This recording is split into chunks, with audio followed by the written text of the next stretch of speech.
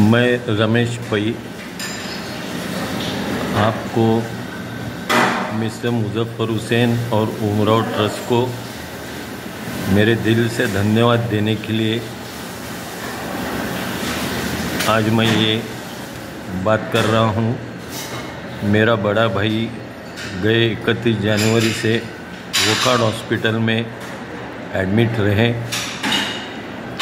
उनके बहुत सारे डिज़ेबिलिटीज़ फ़िज़िकल मेंटल हो गए थे, क्योंकि उन्हें अपने ही परिवार ने बेघर किया था।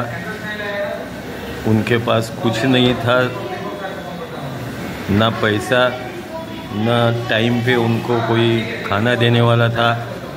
फिर ये बात हमारे ध्यान में आने के बाद हम लोगों ने जितना हो सके हम भाई और बहनों ने उनके लिए दौड़ धूप करी और आखिर में अस्पताल में एडमिट किया।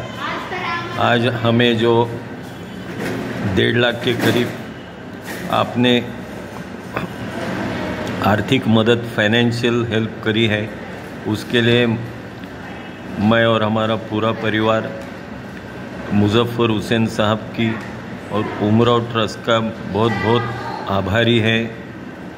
शुक्रिया अदा करते हैं। बहुत बहुत धन्यवाद। Thank you very much